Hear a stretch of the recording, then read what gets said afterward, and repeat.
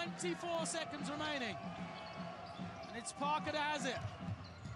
Markovic goes to the steal, but Parker's open. Parker goes to the ring, he's fouled. And I think that's what the Serbians wanted anyway.